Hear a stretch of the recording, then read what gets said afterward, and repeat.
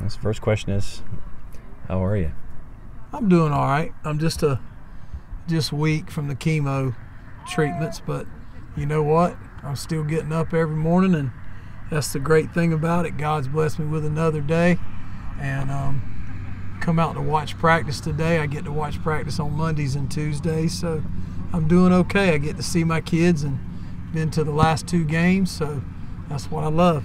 And the we're sitting in something that was a gift from folks locally and you've been i mean we talk we can talk about this and there's the the platform which was another reason that we came down. I thought that the platform was really cool. Well we're we're blessed here to have so many people that work for all our sports programs and all our extracurricular activities. Um, you know you start looking at places like our one act play. Yeah. I mean we got so many people that help them and do stuff like that. Our band our cheerleaders but our booster club bought me a golf cart when I first got sick, and I could sit on it at practice because even the coaches were on me about sitting on our John Deere Gator because I was losing energy in practice. So they bought me this, and and then Chris Paulk and our shop class but built the um, the platform. So it's just been a community effort, and it's really been a community fight. So I'm proud of what they've done for me. And all the signs that you see, you know, praying for Buddy, we got your back, bud, and all that kind of stuff. When, when you and Tammy go through town, when you go through this town, you go through Fitzgerald, what's that like? Well, they've got them all over Fitzgerald, and they've got them all over Ocilla. You know, it just kind of gives me a little bit of hope that shows me. And a, a person doesn't have to have a sign. I know there's people in that house that are thinking about me and, and doing stuff. What's it like to to be out here coaching, being with your kids after you have chemo cycles and hospital visits and things like that? What's it like to be back out here? Just that hope word.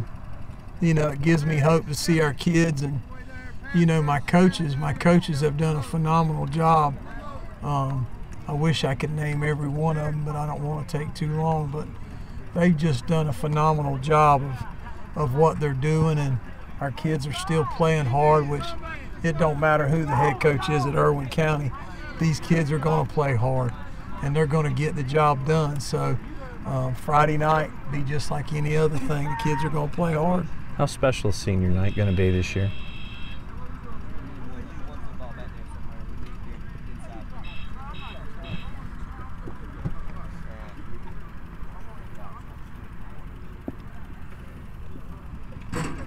You know, I've known these seniors. Uh, first year I got here, they were in seventh grade. My wife was teaching them math, and she was telling me everything other than football about this kid and that kid. So I really got to know them outside of football. And then, um, you know, whenever they come to me and, and talk to me, you know, it may not be about running the down play or the trap, you know, it may be about, hey, coach, I got a chance to do this next year. Um, we had one kid, he's a senior, um, came to me um, back when I first got back, came to me and gave me a thank you. And really, I hadn't done anything, but he got into the college of his choice. And he said, Coach, I got there because of your letter recommendation. Well, really, he didn't. He got there on his own, but just being a part of stuff like that really makes me know that it's other than football. What is, and I'm not going to use the term normal day or average day because those don't exist anymore, really. But what is it? What is a day like for you now? Um, I wake up about six o'clock in the morning. Um, my wife's getting ready to go to school. You know, we really wanted her to get back in the classroom. Um, you know, kind of sit around for a little while. My mama comes and stays with me during the week, and um, you know, watch film at the house, check my emails. Um, I got a Surface. I've had a Surface for about two years now, so I can watch film. Um, basically try to eat as much as I can, but it's just hard with where the tumor's at in my stomach, Yeah. And the chemo doesn't give you much taste. But that's a basic day, and my wife will come home, uh, pick me up during her planning period, bring me back, or if practice is later, I'll come back for practice. Uh, come back for practice, and then Wednesday and Thursday I try to take those afternoons off. But we don't practice on Thursday afternoon. We practice at 6:30 in the morning. Yeah. When the platform that the ag department joined you in Pearson, what was that like? It was pretty cool. It was pretty cool. It's pretty cool to sit up there and then when they put the Duck Dynasty blind up Uh-huh. there, I thought that was so awesome to be up there and everything. But it kind of shows what Chris and all them have done, you know, to haul it over there and and to be able to do things like that. Um, you know, for the coaches to do, um, for the coaches to put that tent up there and you know have a heater in there.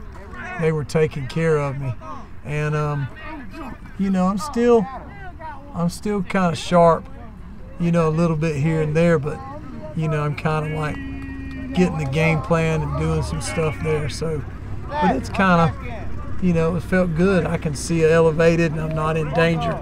So And keeping keeping your brain still active, coming out here to practice. I mean, it's it's you doing what you do.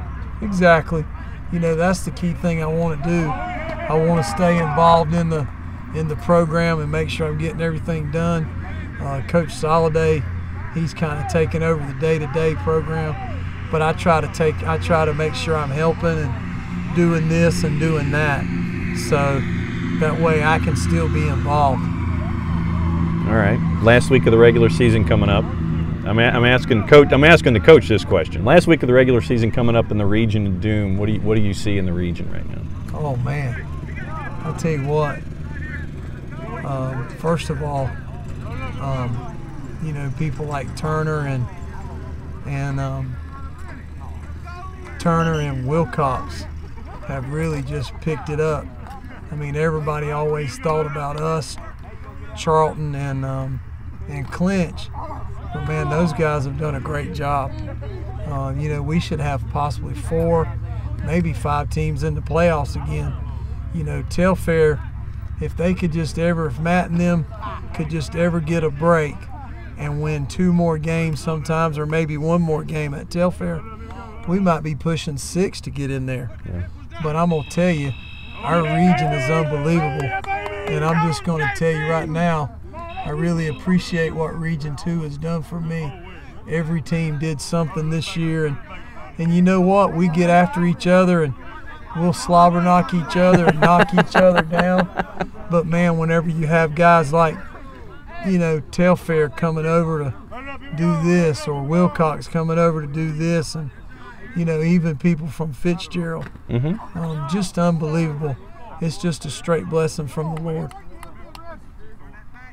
Love you, dude. Love you too, man. Appreciate you. Yeah.